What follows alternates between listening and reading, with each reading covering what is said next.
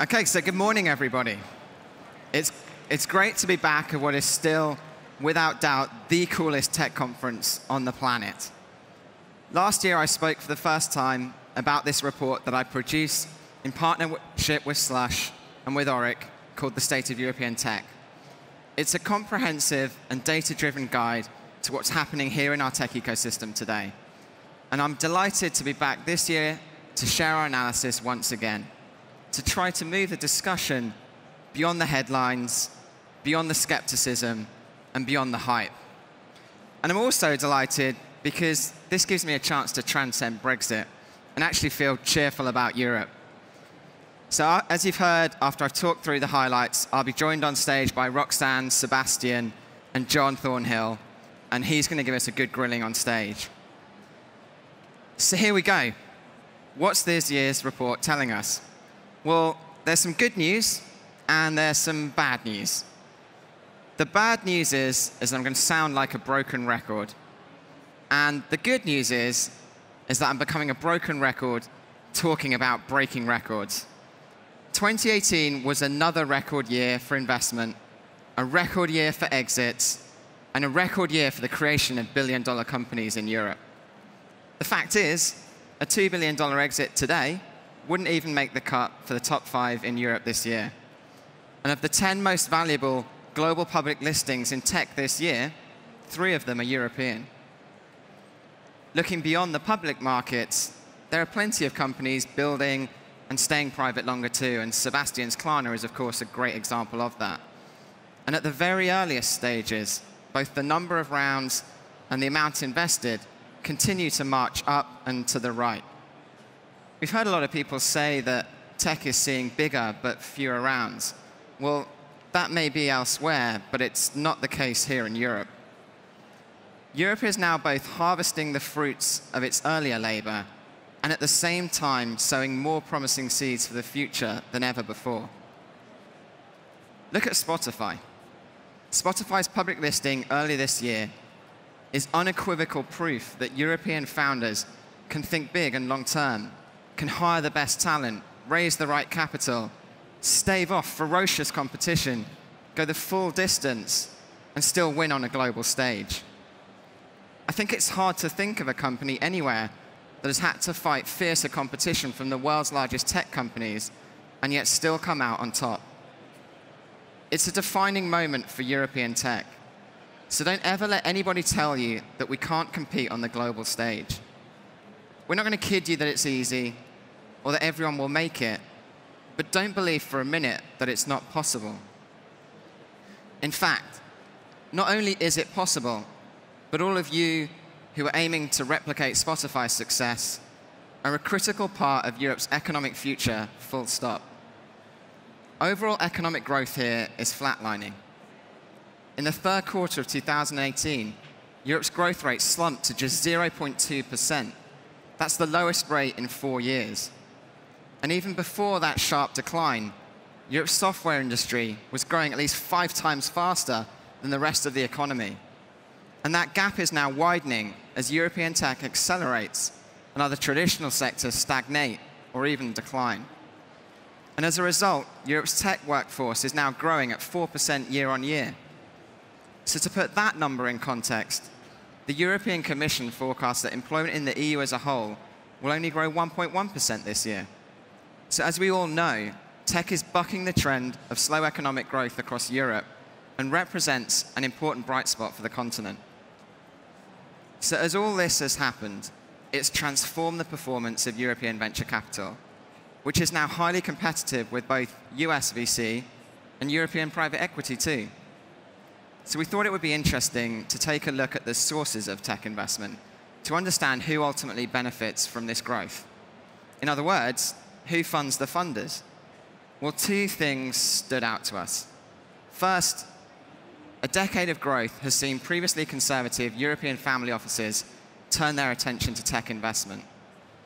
Over the last five years, family offices and private individuals have invested over $5 billion in European venture capital. So to be clear, it's not pension funds, it's not sovereign wealth funds, it's governments, families, and then corporates that have been the three key backstops to European tech funding for now. And just imagine the upside when we finally unlock mainstream institutional capital at scale. So not for the first time in this series of reports, I'm going to call out pension funds specifically. Since 2013, pension funds have invested just $1.7 billion in European VC in aggregate, or just $350 million per year. That's less than 0.01% of total assets under management of European pension funds, which total around $4 trillion. And yet, at the same time, they've invested 45 times more in European buyout funds. And that adds up to more than 75 billion over that five-year period. If pension funds were to rebalance their allocations away from legacy industries and towards game-changing technology instead, they could help to bring the future forward here in Europe. And workers would ultimately be the major beneficiaries if they did. And there is some glimmer of hope, though, and it's coming from this very region. Over the last five years in Europe, of the total invested in VC, just 2.2% came from pension funds. However, here in the Nordics, this number is a much more credible 16%. So as ever, you're leading by example here in the North. If last year was about a battle royale for talent, then this year it's about its effective mobilization in a new generation of hubs. Europe's tech communities are growing fastest in places outside the historic strongholds of London, Berlin, or Paris. This is going to fundamentally change the future of talent flows in the region. Until now, tech workers have been 10 times more likely to move country than the average citizen in Europe. That's extraordinary. But a new phase in talent mobility is on the horizon. If the first phase was defined by the flow of European talent moving to the US to build companies, and the second was defined by talent staying to build from Europe, but choosing one of the region's major hubs, going forward, we're set to enter a new and third phase where talent simply chooses to stay where they are emboldened by the quality of the local ecosystems that are arising all around them across Europe. And the more that this macro shift evolves, the more that that 10x difference will contract. And so you might say then that this is not the time to put up barriers to put off talent from coming to you, as the UK is already finding out. This year, Germany has caught up the UK as the number one destination for intra-European tech talent migrants, closing what was a significant gap. All of this said, a key challenge for Europe and European tech remains a shallow pool of executive-level talent with the experience of scaling tech companies to thousands of employees, to millions of users, or to billions of revenue. And that means we're, we're still reliant on two things. First, attracting global talent here to Europe including luring Europeans back home from overseas. And second, recycling talent from companies that have achieved big milestones and then mobilizing them all over again to help build a new generation of companies. Europe now offers compelling opportunities to join all sorts of amazing companies. But those same companies also need to be able to align compensation with global benchmarks to attract even more great talent. And that will require intervention from governments to clean up the mess around stock options in Europe. Our friends from Index Ventures are helping to lead that important charge. And so if you care about this issue and you want to sign the open letter they've drafted, go visit notoptional.eu.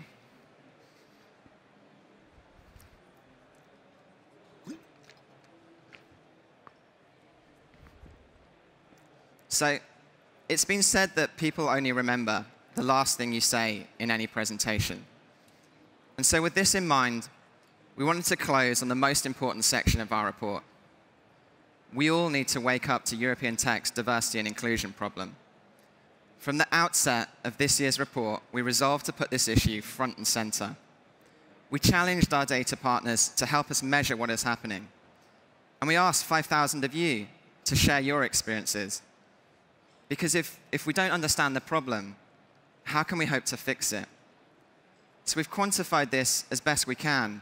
And I'll say now, it's not nearly enough, and it makes for painful reading. But if this doesn't wake us up, I don't know what will.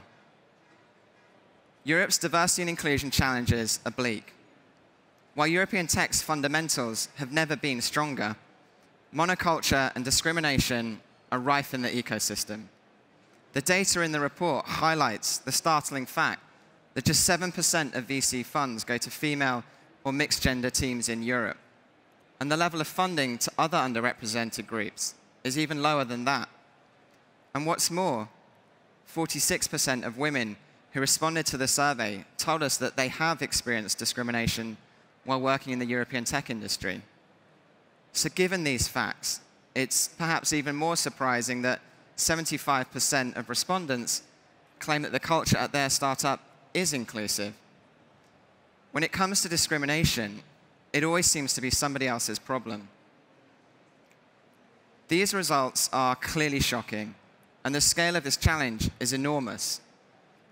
Diversity and inclusion needs to be Europe's first and foremost priority. Just imagine how much talent and value has evaporated away from our tech industry because of diversity inertia. It's only once people of all demographics, of all experiences, and of all perspectives feel safe and confident to participate will we truly realize our full potential. And if Europe takes the lead here, we can build a huge competitive advantage to other parts of the world that are less inclusive. So this is a rallying cry. We all need to do better. And if we do, everyone will benefit. It's a win-win. And the good news is, is that initiatives aimed at inspiring and empowering women and other underrepresented communities are tackling this head on and already having a positive impact. Just look around you here at Slush. Change is coming. Diversity VC is one such initiative, and I'm pleased to announce that Atomico has joined forces with them to launch an industry-first resource, a practical and hands-on guidebook for technology entrepreneurs and leaders that will help them to build companies with diversity and inclusion at their core. And to start by taking those first few daunting steps to know how and where to begin. Francesca Warner, the co-founder and CEO of Diversity VC, will talk more about it tomorrow on this same stage with Atomico CEO, Niklas Zennström. Don't miss that session. And in the meantime, go check out inclusionintech.com and start today. Europe has shown how much it has benefited from achieving a certain type of diversity. We're strengthened here by our differences. European tech is richer for our blend of diverse cultures, language, and heritage. We're not like Silicon Valley, which has coalesced quite brilliantly around a couple of universities and spin-offs within just a few square miles where everyone speaks the same language. And we're not like China either. There is no single government here that can force change and help pick the winners in a closed market with a single culture and population. But to reach our full potential, we need to harness the amazing differences in all of our people. And only then will European tech reach the heights we know it to be absolutely capable of. Thank you.